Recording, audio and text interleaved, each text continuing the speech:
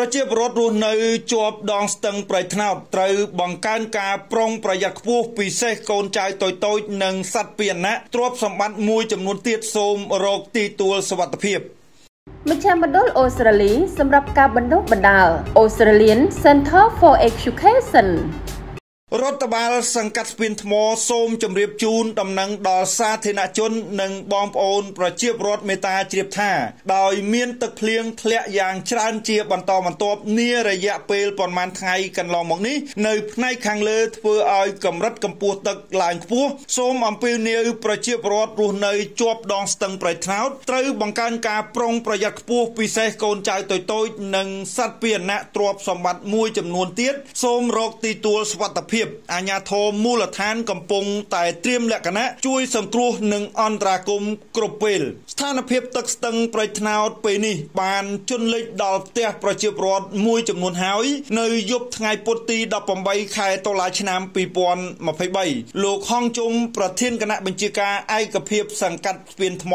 បានអញ្ជើញដឹកនាំក្រុមប្រឹក្សាសង្កាត់កម្លាំងប៉ុស្តិ៍នគរបាលរដ្ឋបាលសង្កាត់លោកមេភូមិយុវជនសសយកសង្កាត់និងប្រជាការពារសង្កាត់ចុះល្បាតត្រួតពិនិត្យមើលតាមដានស្ថានភាពទឹកស្ទឹងប្រៃថ្នោតនិងបានណែនាំប្រជាពលរដ្ឋឲ្យរកទីទួលសុវត្ថិភាពប្រុងប្រយ័ត្នឲ្យបានខ្ពស់ដោយត្រូវត្រៀមរៀបចំទុកដាក់សម្ភារៈសំខាន់សំខាន់នៅទីទួលសុវត្ថិភាពឲ្យបានត្រឹមត្រូវជាពិសេសមនុស្សចាស់ជរាកុមារតូចតូចត្រូវប្រញាប់រស់រាន់ទៅកាន់ទីទួលសុវត្ថិភាពឲ្យបានមុនគេ ជាមួយគ្នានេះសូមបងប្អូនប្រជាពលរដ្ឋប្រុងប្រយ័ត្នខ្ពស់ចំពោះខ្សែភ្លើងអគ្គិសនីដែលអាចបង្កគ្រោះថ្នាក់ជាយថាហេតុលោកចិនប៊ុនធឿននាយកប្រណិប័តសាខាកក្បាក្រហមកម្ពុជារាជធានីភ្នំពេញបានថ្លែងនៅថ្ងៃទី18ខែតុលាឆ្នាំ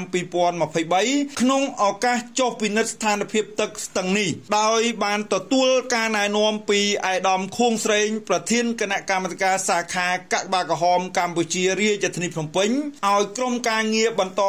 ចុះពិនិត្យស្ថានភាពទឹកស្ទឹងប្រៃថ្នោតហើយនៅពេលនេះកម្រិតកម្ពស់ទឹកស្ទឹងប្រៃថ្នោតស្ថិតក្រោមការតាមដានមើលយ៉ាងយកចិត្តទុកដាក់ពីអាជ្ញាធរដែនដី និងអ្នកស្ម័គ្រចិត្តកាកបាទក្រហមកម្ពុជាប្រចាំមូលដ្ឋាន លោកបន្តថាកាកបាទក្រហមកម្ពុជាដែលមានសម្ដេចកតេព្រឹទ្ធបណ្ឌិតប៊ុនរ៉ានីហ៊ុនសែនជាប្រធានសម្ដេចតែងតែយកចិត្តទុកដាក់ជានិច្ចដោយគិតពីសុវត្ថិភាពរបស់ប្រជាពលរដ្ឋជាចម្បង ជាមួយគ្នានោះដែរនាយកប្រណិប័តសាខាកក្បាក្រហមកម្ពុជាក៏សូមអំពាវនាវដល់បងប្អូនប្រជាពលរដ្ឋដែលរស់នៅតាមបណ្ដា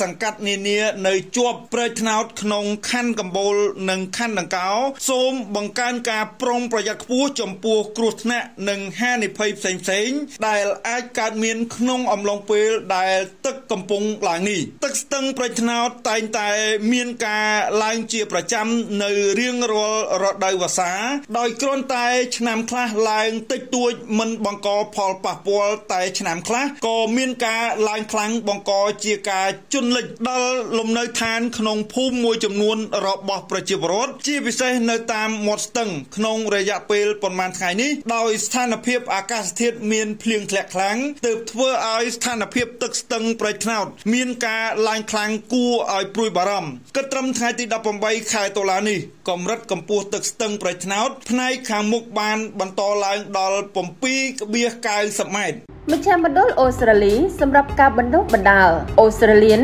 Center for Education